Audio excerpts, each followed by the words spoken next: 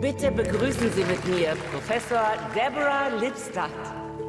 Aus welchen Gründen auch immer Menschen zu Leugnern werden, oft sind sie nur mit etwas anderem nicht zufrieden. Warum verunglimpfen Sie die Arbeit von David Irving? Man kann verschiedene Meinungen zum Holocaust haben, aber ich diskutiere mit niemandem, der behauptet, dass es ihn nicht gab. Professor Lipstadt, ich bin dieser David Irving und ich bin willens, 1000 Dollar denjenigen auszuhändigen, der mir einen Beweis für den Holocaust vorlegt. Ich diskutiere nicht mit Ihnen, nicht hier, nicht jetzt, noch sonst Weil irgendwo. Sie es nicht können.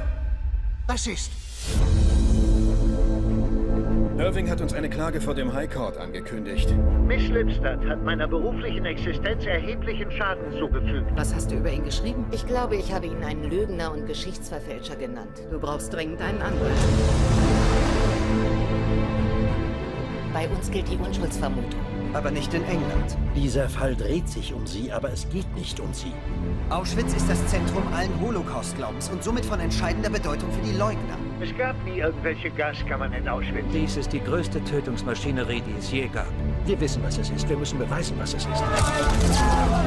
Und wenn wir verlieren, wird es dann akzeptabel zu sagen, dass es den Holocaust nie gegeben hat? Der Ausdruck Leugner ist ausgesprochen heimtückisch. Redefreiheit heißt sagen zu können, was man will.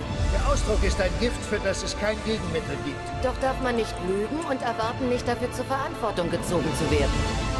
Es gibt keine Löcher in diesem Dach. Demzufolge gab es auch keine Gaskammern. Keine Löcher, kein Holocaust. Er wollte was Einprägsames, jetzt hat er. Wo sind die Belege? Wo sind die Beweise? Die Ansichten über etwas sind nicht immer gleich. Ich bin kein Rassist. Die Erde ist rund, die Polkappen schmelzen und Elvis ist nicht am Leben. Ich habe die Redefreiheit nicht angegriffen. Ich habe nur jemandem die Stirn geboten, der die Wahrheit verdreht.